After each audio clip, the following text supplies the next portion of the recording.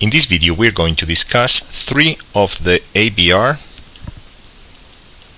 addressing modes, the simplest ones. So first of all let's describe that an addressing mode is the mechanism that the microprocessor has by which from the instruction certain fields are interpreted in order to access the operands. So it's something that occurs inside the execution of an, of an instruction and this functionality is what the microprocessor used to access the operands. Now before proceeding with the description of the addressing modes, let's describe certain notation that we're going to be using. The address of the operand, we're going to call it the effective address and we're going to represent it by add sub e. Then the instruction fields, which is what we're going to be looking to interpret, we're going to denote them by inst sub f sub i. Registers, we're going to refer to them as r sub i, and in some cases, the field of the instruction is going to encode the name of a register. In that case, we're going to refer to that, that register as R sub F sub I. This is the register specified by the field I found in the instruction.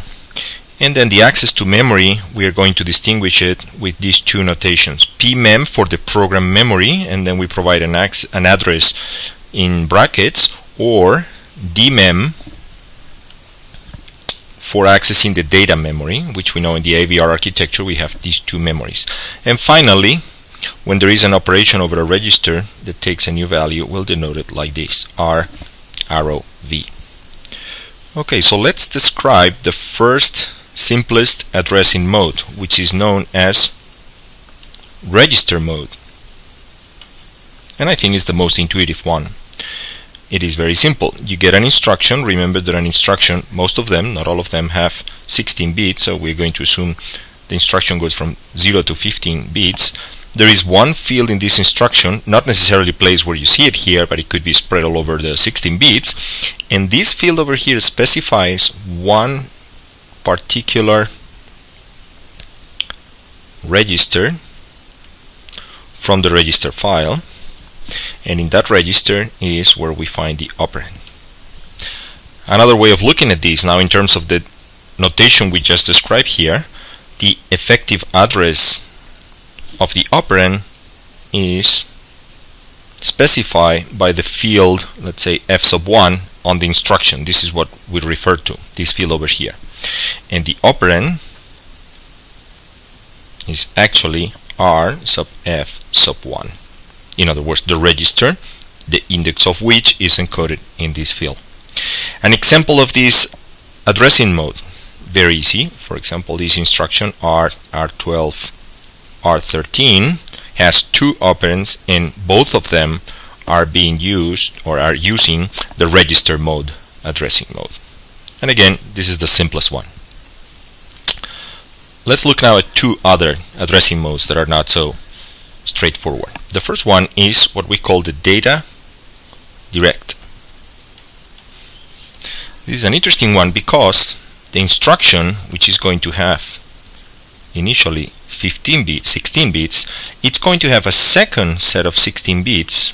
So in other words, the instruction it's going to be in this case 32 bits.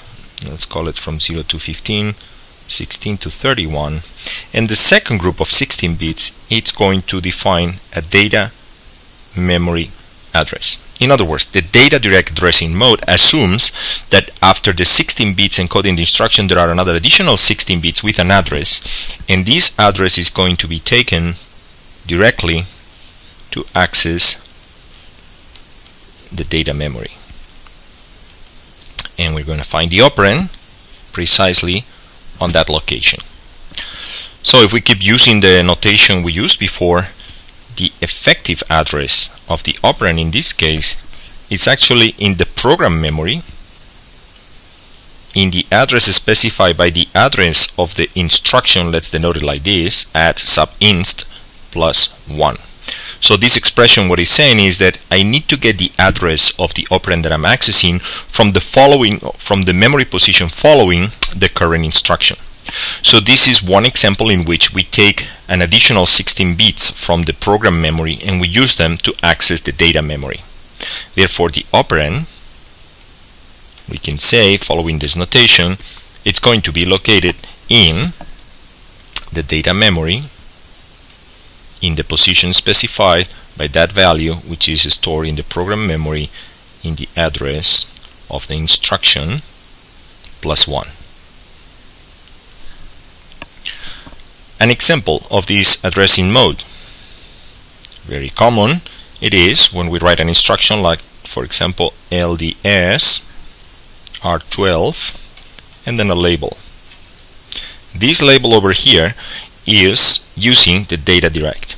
Typically when you write an assembly program this label is going to be previously defined in the data section and what you're doing here is loading in this particular instruction is loading into register 12 the content in data memory specified by this label.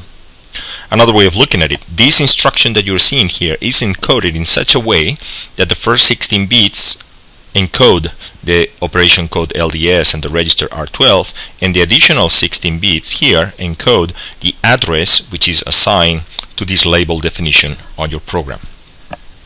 Now a couple of interesting things or one interesting thing about this instruction is that it performs three memory operations. The first one is to fetch or obtain these first 16 bits. The second one is to obtain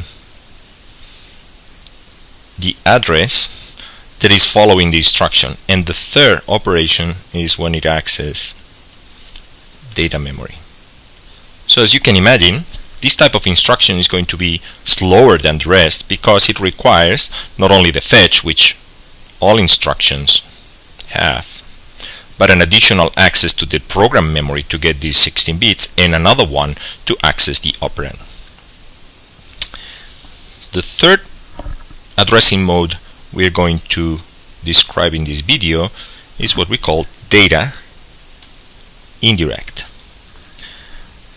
Now in a data indirect addressing mode, the instruction, typically now with 16 bit, again 0 to 15, it's going to have one field, so from that point of view is similar to this one, one field encoding one register. So it's pointing to the register file.